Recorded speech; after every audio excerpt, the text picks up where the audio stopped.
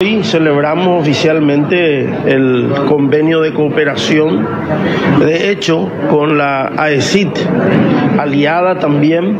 eh, venimos trabajando en forma conjunta con, con recursos que son de suma relevancia para la educación. Nuestra escuela municipal, nuestra escuela taller municipal, aprender haciendo, como dice esa frase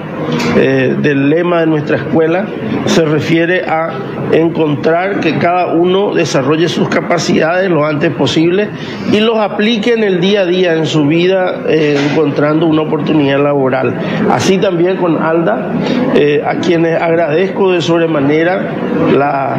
cooperación en llevar adelante el desarrollo de la educación en cultura la igualdad.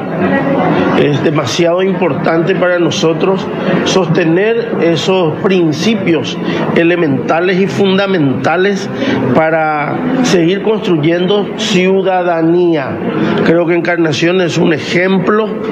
en, varios sentidos, no digo en todos porque seguimos aprendiendo y seguimos aplicando, pero eh, lo que respecta al civismo, a la ciudadanía informada, para que pueda conscientemente tomar sus decisiones,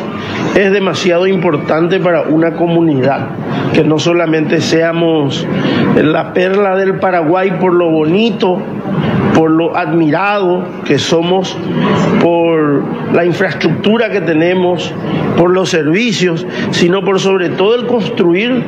una comunidad consciente de su realidad, consciente de que debe construir su presente, mirando el futuro, y eso para nosotros tiene mucha relevancia.